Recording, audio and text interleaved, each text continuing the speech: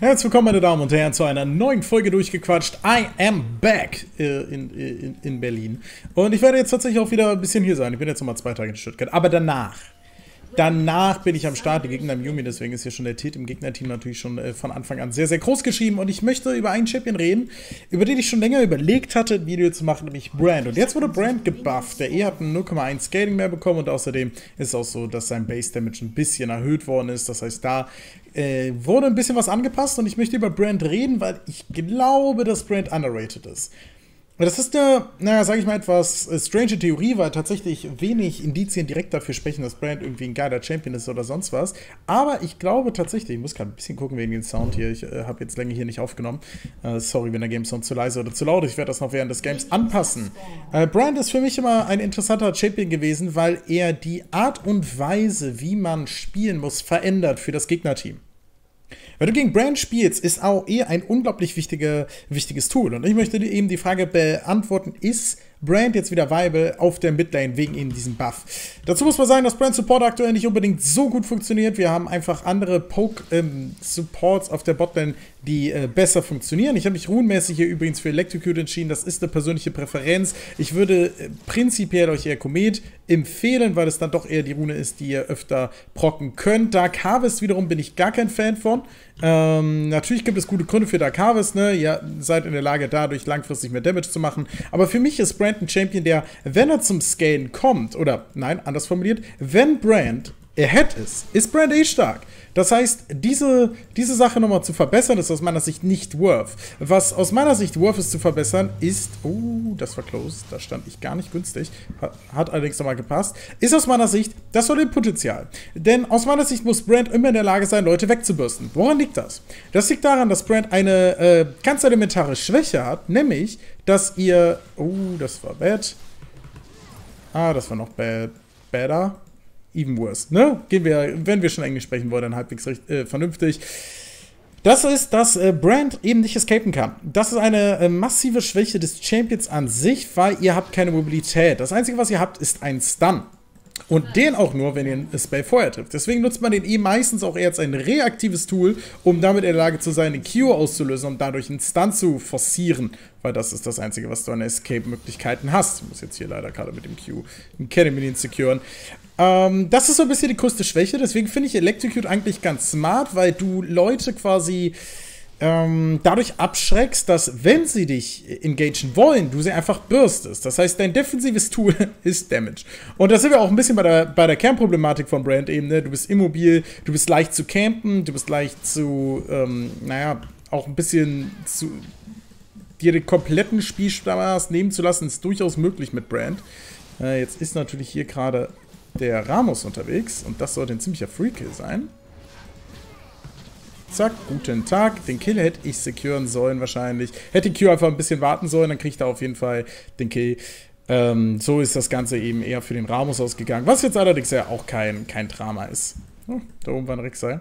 Nee, ich habe keinen Mana mehr. Ich würde sehr gerne basen. Ja, der Ramos sollte da fein sein. Ne? Ich glaube jetzt nicht, dass Rek'Sai den da großartig äh, verprügeln wird. Wenn doch, dann tut es mir natürlich leid. Da hätte ich dann vielleicht doch helfen sollen. Ah.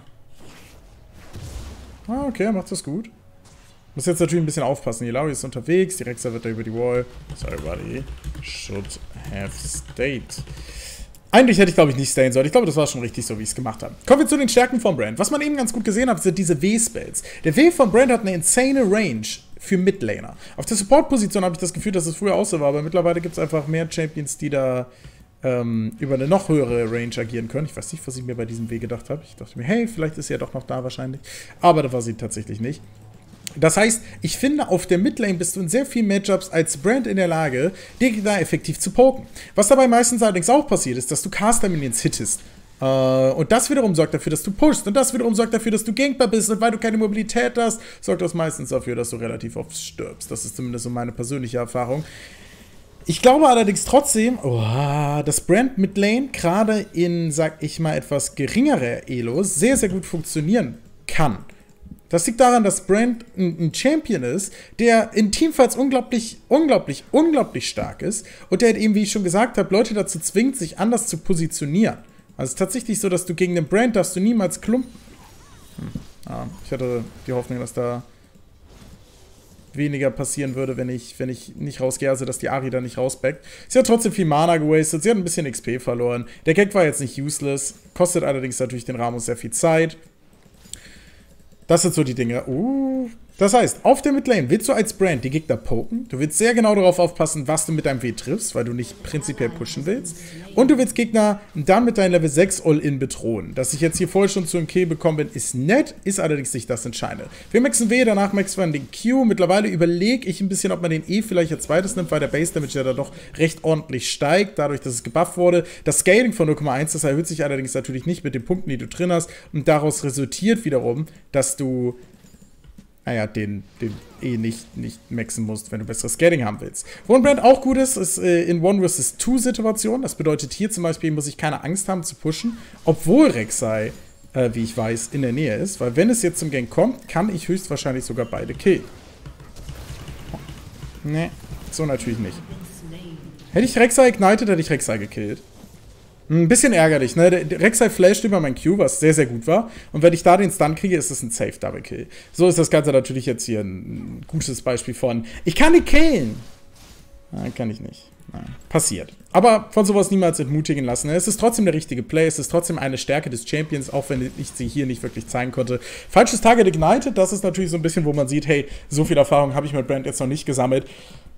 Ist allerdings eben von, äh, für mich eine der, der Stärken, die zum Beispiel ein Renekton auf der Toplane auch hat oder auch ein Heimerdinger hat, dass du weißt, hey ja, du kannst diesen Champion ganken, aber du gehst als Jungler immer ein Risiko ein. Wenn in diesem Fall Ramos irgendwo in der Nähe ist, dann kann ich Fights vielleicht sogar so entscheidend selber führen, dass danach Ramos ganz entspannt noch für einen, einen Clear-Up-Kill gehen kann. Was ich jetzt hier mache, ist ein bisschen sneaky.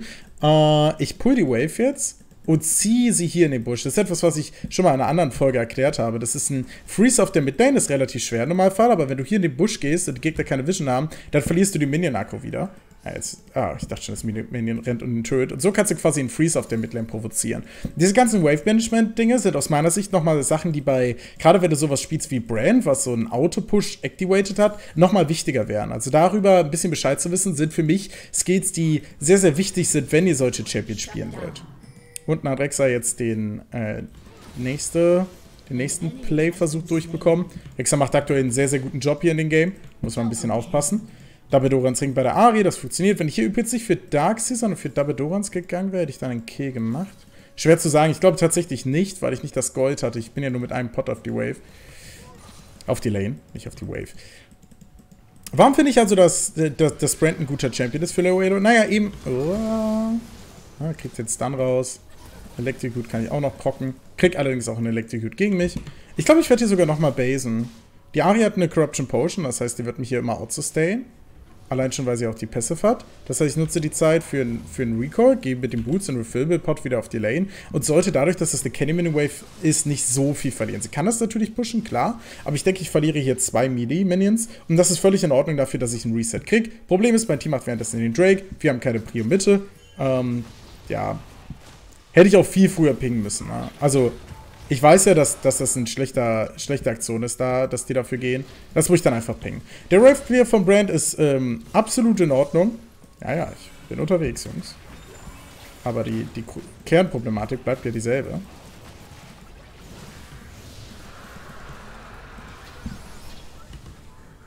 Äh.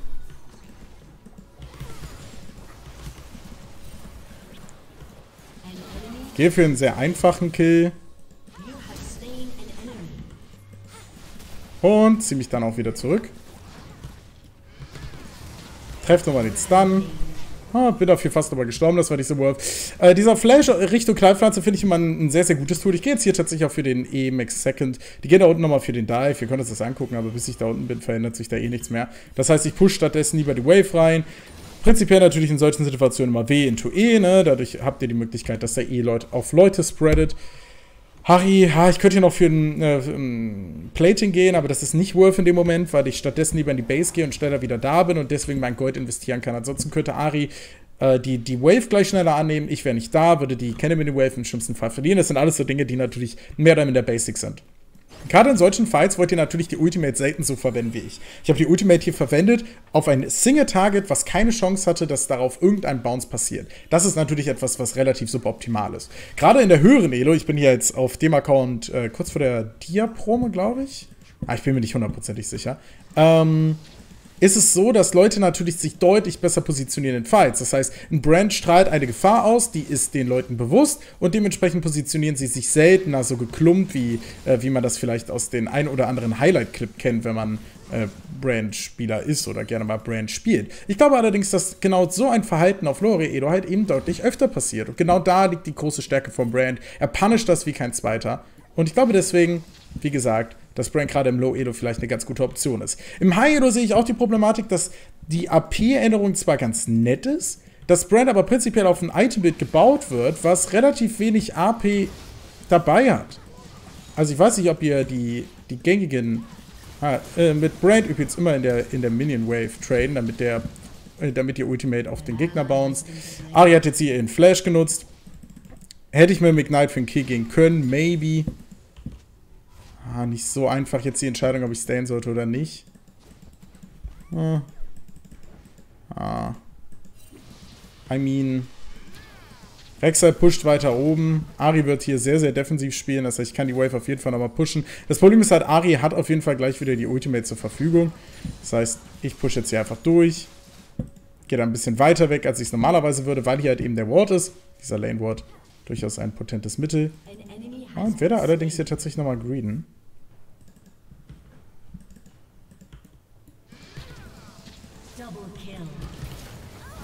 Das Signal vielleicht ein kleiner Overkill, weil die Passive natürlich so oder so geprockt hätte. Hier eine ganz schöne Variante mit der äh, Vision des Gegners zu spielen, weil ich halt eben... Oh, ja, das ist natürlich das einzige Target, was ich nicht ehen sollte in dem Moment. Oh, ich greede jetzt hier noch fürs Plating. Ich habe ehrlich gesagt nie aufgepasst, wo Rek'Sai ist. Na. Ist vielleicht jetzt nicht so sinnvoll. Ich sollte nicht noch für ein zweites greeden. Also man, man muss es ja nicht übertreiben mit dem Trollen ziehe mich jetzt hier zurück. Das ist ein schönes Beispiel dafür, wie man mit der Vision des Gegners spielt. Du, ich weiß, dass sie hier Vision hat, ziehe mich deswegen hierhin zurück. Sie erwartet, dass ich den Safe Recoil nehme. Ich mache das nicht. Das sind alles so Kleinigkeiten, die ich persönlich an League of Legends sehr schätze, die relativ oft allerdings unbedeutend scheinen, aber hier ist es eigentlich ein ganz schönes Beispiel dafür, dass es ganz gut ist. Das, ständige, das normale Brand-Item-Bild besteht aus Double Magic Pen. Das heißt, du gehst für dieses Item und danach gehst du für dieses Item. Die AP-Änderungen bedeuten, dass es jetzt ein bisschen attraktiver ist, für aggressive Items zu gehen. Ich zum Beispiel präferiere auf Brand aktuell Ludens First, was auch daran liegt, dass ich ja für Electrocute gehe und dementsprechend hm, den, den Poke nicht habe, den anderen haben, wenn sie mit dem W und Komet gehen. Uh, Ari hat übrigens Ultimate, das heißt, ich kann die Wave jetzt nicht so weit vorne annehmen. Fehlende Mobilität ist hier natürlich wieder das Thema Nummer 1. Weil es halt eben genau dazu führt, dass wenn ich da vorne stehe, ich einfach engaged werden kann und äh, kein Counterplay habe. Wave Clear jetzt natürlich exzellent. Ein W, die Wave ist weg. Super angenehm. Uh, da muss ich ein bisschen aufpassen. Hat sie hier Vision? Uh, bin mir nicht sicher kann jetzt hier immer die Mini-Minions ehen, äh, wählen, danach mit dem E gehen. Procke so alles, was ich procken will. Ari muss für die Ultimate gehen. Ist trotzdem ein Kill. Und dieser Damage, den ihr gerade gesehen habt, der ist, finde ich, frech. Also, dass ich den Damage habe. Und das ist für mich einer der Gründe, warum ich finde, dass sowas wie Dark Harvest gar nicht notwendig ist. Weil dieser Damage, wenn du über der Goldkurve bist, was ich ja jetzt hier gerade bin, ich bin ziemlich strong im Game, ist sehr, sehr stark. Ich habe immer das Gefühl, dass Brands roher Damage-Wert sehr, sehr, sehr, sehr hoch ist. Hier muss ich übrigens relativ früh ehen. Oh, ich habe jetzt kein, wenig Platings bekommen. Oh, Geh jetzt zum Blue. Der sollte free sein.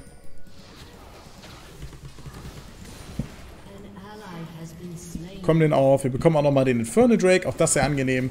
Und das funktioniert. Eben Dark Harvest Scaling finde ich nicht so attraktiv. Komet kann ich vollkommen verstehen, wenn man eher für den äh, für den Poke-Lifestyle gehen will. Ich wiederum will für diesen One-Shot-Lifestyle gehen und dementsprechend ist Electrocute meine Variante. Wie gesagt, ich empfehle allerdings prinzipiell eher Komet.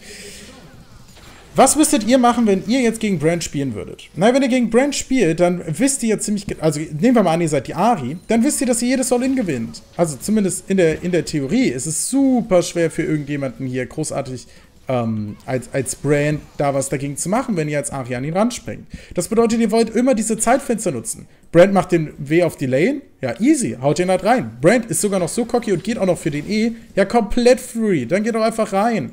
Was soll er denn machen? Wenn er sein Q benutzt, dann könnte er ihn offiziell reporten. Weil das ist ja das Einzige, was er hat als Verteidigungstool. Auch hier, ich nutze meinen W. Ari könnte jedes Mal versuchen, für die Ultimate zu gehen. Ah, Yumi ist wieder da unterwegs. Die mache ich jetzt auch mal auf den Weg. Aber ich glaube, die ist tot, bevor ich da bin. Genauso ist es. Kannst hier noch gucken, ob Ari kommt. Kommt nicht. Das ist ein ziemlich cocky Way, den ich hier gehe. Gerade mit so einem Immobilien-Champion sollte man nie diese Choke-Points durchhalten. Jetzt nutze ich ja den E. Und das müsste immer der Moment für Ari sein, wo sie sagt, aha, zwei Spades weniger, ich gehe auf, äh, in das All-In. Das passiert hier allerdings nicht. Und ich glaube, das ist halt genau das Ding. Ich finde solche Champions, die hauptsächlich um Zeitfenster herum gecountert werden, sind unglaublich schwer zu countern. Es ist sehr viel Erfahrung vonnöten, es ist sehr viel auch äh, Verständnis von Matchups, was viele einfach nicht mitbringen. Gehe jetzt hier für die, äh, den simpelsten Trade aller Zeiten. Ich mache den eher auf den Gegner, damit meine Ultimate öfter bounce. Ah, das ist zu greedy. Und dann auch noch schlecht. Was hier passiert ist, ist quasi, dass ich weiß, dass Rek'Sai da ist, trotzdem für den Flash-Play gehe, was überhaupt nicht notwendig ist. Ari sie müsste eh basen. Der Kill gibt mir gerade in dem Moment nicht, wie, äh, wie ich verlieren kann, weil ich habe einen 300er Shutdown. Und gegen, gegen Rek'Sai antizipiere ich zwar den Tunnel gut, gehe für den W. Dadurch, dass ich den Q allerdings so früh auslöse, führt das dazu, dass ich den, dass mein Q ankommt, bevor der W ankommt. Das erhöht zwar den Damage von meinem W, allerdings keinen CC und dementsprechend kann ich da nichts machen. Yumi kommt jetzt raus, ist allerdings in diesem Fall relativ nutzlos wieder. Oh mein Gott, sie ist so squishy. Holy crap. Meine Damen und Herren, jemand müsste die Botlane deffen. Oh, ich bin nicht unbedingt der, der die Botlane deffen sollte, ne? Da bin ich ganz ehrlich. Ein Gangplank ist dann doch eher anstrengend für mich, einfach weil er meinen Stun glänzen kann. Ich glaube, Brand wäre in der Control Mage Meta zum Beispiel sehr interessant. Aber das Problem von Brand ist auch, dass eigentlich alle Assassins unangenehm für einen Brand-Spieler sind. Weil das, was die machen, ist, die hüpfen viel rum, das, was wir, wo, was ein Problem für uns ist, ist, wenn Leute unseren Stun blocken oder generell unseren Damage. Jetzt hier mache, ich mache einfach die Camps. Ähm, prinzipiell ist die von Brand in solchen Fällen ziemlich gut. Ihr seid auch gegen Objectives recht gut. Ich habe übrigens komplett verpasst, dass die Wave hier schon ist. Upsi. Ja, ja, Last Hit muss man nicht, ne? Ist eher optional in meinem Gameplay. Oh mein Gott. Ja, ja, gut. Reporten. Währenddessen wurde auch noch gefightet, das heißt, es ist noch nutzloser, was ich hier gemacht habe. Mein Team gewinnt allerdings trotzdem. Schönes Beispiel dafür, dass, äh, ähm, ja, ja, ja, okay. Ich würde sagen, Triple Kill, alles mein Verdienst. War das der Quarter? Er hat den Stun gefehlt. Ja. Ja, also ich würde sagen, das war gerade ein Quarter-Kill von einem Pike. Äh, ihr habt hoffentlich mal meinen First-Time-Pike gesehen. Da seht ihr sowas auch. Ähm, ich würde jetzt hier eigentlich ganz gerne den Turm nehmen. Ich weiß nicht, ob die Wölfe da unbedingt so interessant sind. Kann man aber natürlich trotzdem machen. Holy moly Pike. Der Typ heißt auch Pike. Das heißt, man kann davon ausgehen, er spielt den Champion auch nicht zum ersten Mal. Ich wiederum war überhaupt nicht da, weil ich stattdessen lieber Golems gemacht habe. Danach eine komplette Minion-Wave verhauen habe zu Lastitten. Das ist schon eher sad alles. Aber trotzdem natürlich ein, ähm, ein schönes Beispiel dafür, was, was ein Pike-Support machen kann. Ne? Mein Damage ist absolut giga insane. Uh, muss allerdings natürlich trotzdem hin und wieder Gegner respektieren. Kann hier jetzt mit der Ultimate einfach mal äh, in mehrere Leute reinhauen. Das ist dann eigentlich immer ein Free Kill. Nochmal das wunderschöne Ding da zerstören.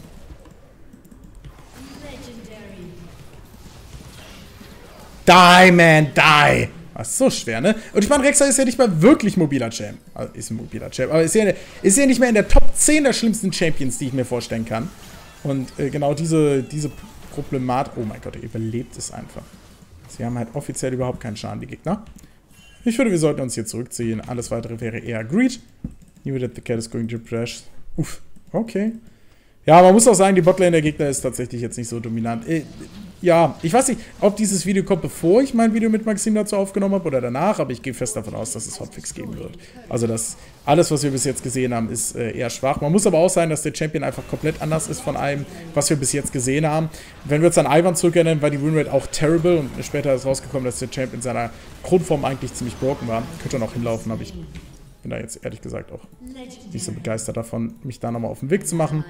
Geh jetzt auf den Rabadons und das ist halt genau die Sache. Ich finde, Brand mit den aktuellen Scalings kann man auf Mass-AP spielen. Also man kann Item-Build spielen, die einfach deutlich mehr AP raushauen, weil ich das Gefühl habe, dass die Scalings gar nicht so bad sind, was zum großen Teil auch daran liegt, dass die Pässe weiter mit AP scaled. Und das ist etwas, wodurch du einfach einen Spell mehr hast, der skaliert, plus Loons ja nochmal ein Spell hast, der skaliert, und du dadurch quasi, auch wenn deine, deine, deine AP-Ratio nicht überwältigend ist, hast du es ja doch auf jeden Spell. Und das ist ein Vorteil, den, den man definitiv nutzen kann. Ich gehe jetzt hier und kill hier Yumi. Das ist ein ziemlicher Free-Kill. Oder auch nicht. Schade. Aber das, wenn du cool sein willst und sowas callen willst, ne? Hallo. One-Shot. Äh, natürlich hier auch ein, ein ADC, der komplett out of game ist, ne?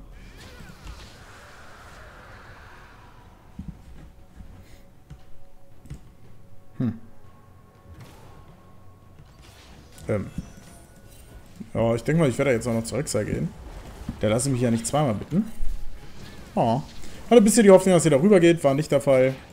Passiert schon mal. In welchen Coms willst du Brand spielen? Du willst Brand prinzipiell gegen immobile Champions spielen. Das heißt, das Gegnerteam diktiert mehr, ob du Brand picken wirst, als dein eigenes Team. Trotzdem ist natürlich in initialen Gage sehr schön. Du bist äh, in Wombo-Kombos natürlich immer gerne, ges gerne gesehen. Das war sehr viel Schaden. Das heißt, die Ari könnte gleich einen Move wagen. Aber Wombo-Kombos sind mittlerweile, finde ich, auch deutlich seltener geworden. Also diese ganz klassischen Kombos von früher, wo du Namumu Jungle hattest und dann gesagt hast, ah, da gehe ich rein. Ah, ganz ehrlich, das passiert mittlerweile deutlich selten. Wird er mich immer noch ult?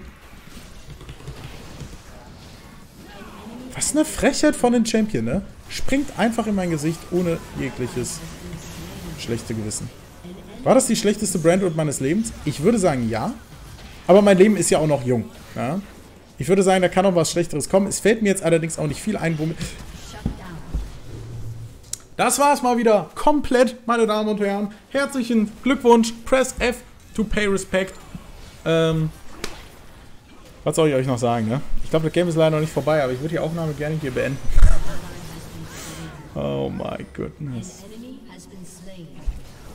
Es gibt Situationen, da machst du so eine Brand-Ult, denkst dir, schlechter kann es nicht werden. Und dann passiert es doch. Ich wette gerne von euch in den Kommentaren eure schlechtesten Szenen aller Zeiten. Ihr habt garantiert so Szenen, an die ihr euch heute noch erinnert. Und war von mir aus die von eurem Kumpel. Ich erinnere mich noch, in Trindermeer pusht die Midlane Inhib gegen einen guten Kumpel von mir. Erst Lux, Trindermeer auf 20 HP, Ultimate raus. Alle ult, ult, ult, ult, ult, sobald du spawnst. Er ultet, wohin ultet er? Er ultet hierhin, Bruder.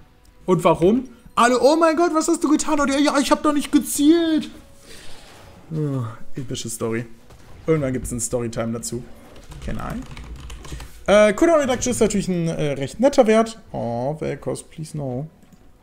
Ähm, der, der geht in diesem Bild natürlich jetzt... ah, der, der, also es war auf gar keinen Fall Absicht von ihm. Aber es war wirklich, wirklich witzig. Oh, schöner Moment. Äh, was ich jetzt machen werde, ist, ich äh, spekuliere darauf, dass direkt hier oben in den Busch reingehen wird, um den Nash Seed zu preparen. Äh, dann stehe ich hier schon bereit, bewege mich die ganze Zeit nicht. Wurde jetzt hier meines Erachtens auch nicht aufgedeckt. Äh, und punische dann eben Rexa dafür. Ilaoi rennt jetzt hier allerdings hinterher. Wird natürlich von der Rexa Passive auch gesehen. Das heißt, die Wahrscheinlichkeit, dass das jetzt gelingt, ist deutlich geringer geworden. Was man machen könnte, man könnte hier... Äh, durchaus mutig von der Rexa. Oh mein Gott, sie ist so squishy. Ich meine, sie ist Level 10, ne? Sie, sie, sie muss wahrscheinlich auch squishy sein. Ich werde jetzt hier noch einmal für den Damage Test ge äh, gehen. Das heißt, ich renne einfach mal in den Gangplank rein und sage, hallo, guten Tag. Möchten Sie ein One vs. One? Äh, wollte er, ja. Ging nicht so gut für mich aus. Mein Damage danach natürlich trotzdem völlig in Ordnung. Wenn ich die äh, Barrier da vernünftig äh, kaputt mache, dann ist das schon, schon okay. Brand, super squishy, super stark. Ich empfehle übrigens hier äh, als 6-Item nicht, wie ich gerade für den Voidstuff zu gehen, der eben völlig random ist, sondern immer für den Sonias. Brand müsst ihr euch eher so vorstellen für die, die schon länger League spielen, wie Zyra früher. Das heißt, ihr poppt einmal alle eure Spells und dann sterbt ihr. Und dieses Sterben könnt ihr halt eben reduzieren, indem ihr für eine Stopwatch geht. Das heißt, ihr könnt auch in Second Tree, könnt ihr für Minion Dematerialisierer und für äh, die Stopwatch gehen, wenn ihr wollt. Das ist absolut in Ordnung. Ich persönlich präferiere hier allerdings Scorch. Ich finde, Scorch ist immer noch nicht mega stark, ist allerdings einfach ein Spell, der im Early Game nochmal diesen Poker erhöht. Gerade wenn ihr für Komet geht, finde ich, ist das so oder so dann nochmal die bessere Option, weil ihr wollt in den Ruhen bei Brand immer alles mitnehmen, was in irgendeiner Art und Weise euren Early, euer Early Game stärker macht. Weil wenn ihr im Early Game ahead kommt, wenn ihr über der Goldkurve seid, dann seid, habt ihr mit Brand eh keine Probleme. Oh my goodness. Ich meine, da steht 16-2. Eieiei. Das ist halt, das ist ein Pike, wie er hier steht, ne? Also der beste äh, Pike Spannaus ist vielleicht äh, ab jetzt dieser Pike. Esri merkt, oh, ich habe einen ADC gepickt. Not fun anymore. Ramos hat gemerkt, oh, das sind gegnerische, äh, gegnerische Turrets. Auch das ist nicht so fun. Und ich merke jetzt, oh, da ist ein Gangplank. Verbrennt elendig. Was nicht funktioniert hat. Hm. Äh. Äh.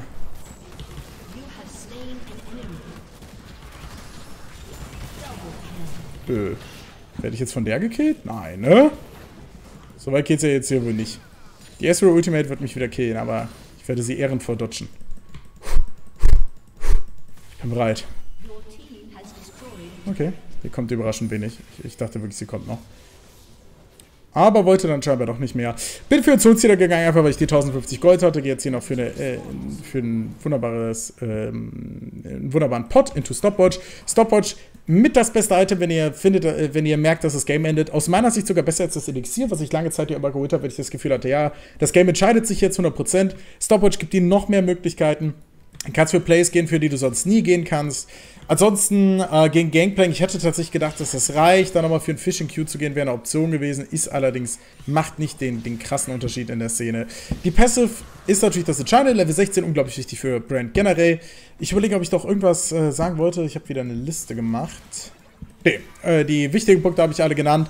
Ich würde euch empfehlen, Brand Midlane einfach mal zu spielen. Einfach um ein Gefühl dafür zu kriegen, was den Champion ein Stück weit fehlt. Weil ich glaube, wenn man wenn man Brands selber gespielt hat, merkt man natürlich wieder, äh, wie einfach er auch zu exploiten ist. Aber es ist gleichzeitig auch einfach ein Champion, wo ich das Gefühl habe, er macht unglaublich viel Spaß. Gerade wenn ihr ein Stück weit ahead seid, ist, Gameplay, äh, ist Brand einer der witzigsten Champions überhaupt. Weil ihr halt eben diese, diese Pop-Moments habt, wo ihr halt einfach jemanden komplett von 100 to 0 deletet. Und mit jemandem meine ich ein komplettes Gegnerteam. Ich würde jetzt hier gerne nochmal für einen Quarter gehen oder sowas.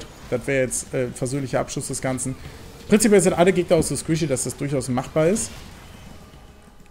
Muss mir allerdings natürlich jetzt hier ganz genau überlegen, wann ich welchen Spell einsetze. Äh. Ja, ich, ich, ja. Den Flash-Spell haben wir schon mal eingesetzt, so viel kann ich äh, sagen.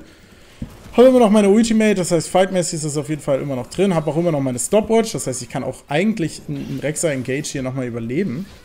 Ist so die Frage, ob wir das trotzdem spielen wollen.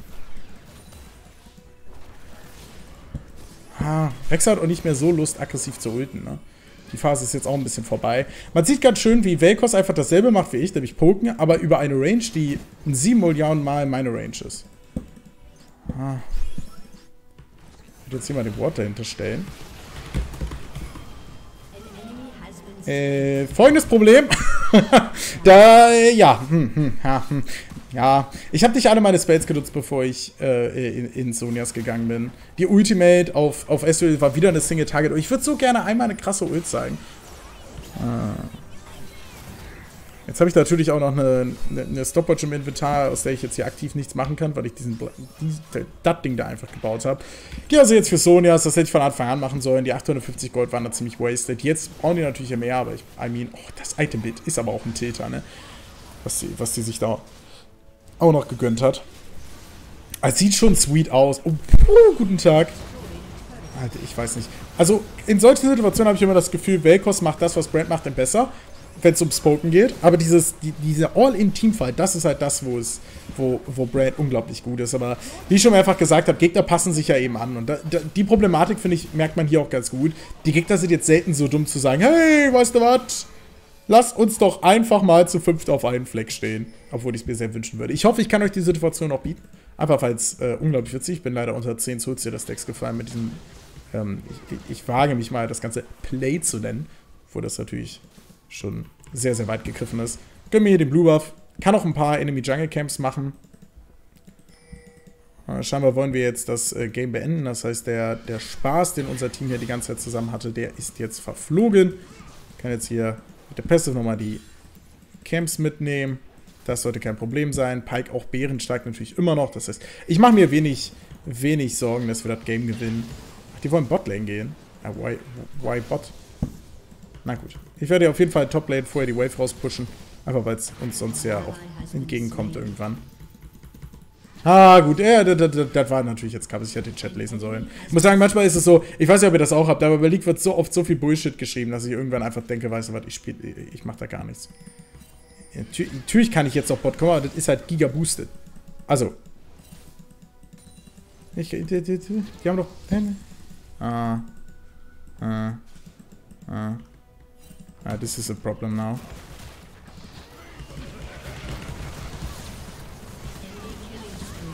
I guess this is fine, right? Aber da haben wir es schon gesehen, ne? wenn ich sich so splitten kann, ich wenig machen. Mein W war natürlich auch kerngeboostet. Oder sage ich mal, sehr optimistisch antizipiert, was passieren würde. Ich denke, das ist fein. Der Velkos kann hier gleich ulten. Der Gangplank ist halt leider ziemlich fett, ne? Hm. Ah, Ilaoi macht da auch viel. Kam. This is one.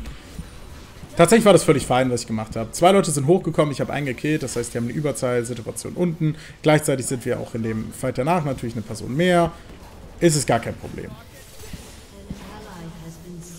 Lauri hat sich jetzt hier für den Splitbush entschieden. Die, ich meine, man könnte auch einfach zum Nexus rennen, aber das ist, ist nicht, ist, ja, muss man nicht, ne? Das ist eher optimal wieder. Ezreal ist in diesem Moment auch down und wir haben das Game gewonnen. Und damit äh, ist auch dazu der Hate von Velkos erstmal wieder äh, deutlich entspannter. Meine Damen und Herren, das war äh, meine Folge dazu. Ist äh, Midlane Brand jetzt viable? Das Endergebnis, wenn ihr es äh, mitbekommen habt von Anfang an, ist TLDR, meine Damen und Herren. Brand ist aus meiner Sicht ein Champion, der ein kleiner Sleeper ist. Ich glaube tatsächlich, dass der, dass der Damage etc. von Brand sehr stark ist, dass der Poke sehr gut ist. Ich, ähm, die Dunkelheit breitet sich aus. Winter is coming! Ich weiß aber. Ah, ja. Tiltproof auf jeden Fall an dieser Stelle für den Ramos. Meine Webcam hat sich verabschiedet, ne? Wollte sich das auch nicht mehr angucken. Gerade im Low Elo, glaube ich, ist Brand ein Champion, den ihr definitiv mal auspacken könnt. Ihr habt einen sehr, sehr soliden Poke, ihr habt einen äh, völlig in Ordnung Wave, ihr seid allerdings auch unglaublich immobil und eure große Stärke ist tatsächlich kaum ausspielbar, wer Gegner wissen, was sie tun. Da sie das meistens nicht wissen, könnt ihr Brand trotzdem auspacken und damit, äh, ja, einfach ein bisschen Spaß haben. Ich werde vielleicht den einen oder anderen Pocket Pick hier noch präsentieren, wie sowas wie Diana. Wenn ihr sowas sehen wollt, dann schreibt das gerne in die Kommentare. Ansonsten wünsche ich euch einfach eine wunderbare Zeit und hoffe, ihr habt eine gute Zeit. Und ab nächster Woche bin ich wieder in Berlin. Und dann wird auf jeden Fall nochmal ordentlich mehr geböllert auf YouTube. Tschüss und bis bald. Euer Johnny. Der den nicht seht, aber hört.